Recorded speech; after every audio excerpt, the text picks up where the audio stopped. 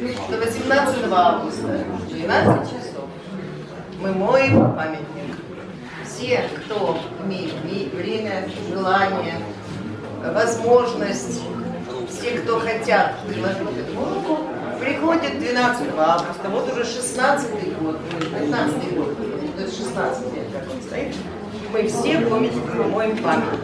Потому что до сих пор памятник у нас на балансе, город его отторгает, не хочет его брать, не хочет его быть, а мы моем. Но дело, дело это просто как бы мешает действительно явление. И на самом деле, глядя на то, что не слышно, глядя на то, что здесь, глядя на то, что в альбомах, слушая людей, даже э, э, псевдоанекдоты Валерия Юрьевича, э, истории его, мы понимаем, что существует такое понятие. Господь в темечко.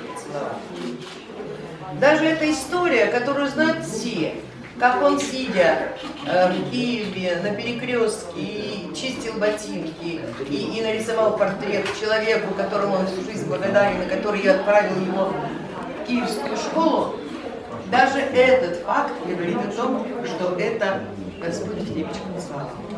Поэтому так мало людей, которые Господь в темечко поцеловал, но они все равно всегда с нами, и если мы в состоянии увидеть это, да. то, что этого человека поцеловал Господь, мы его светом питаемся, свет этот в нас проникает, и мы, конечно, богаты уже становимся этим светом человека, которого Господь поцеловал.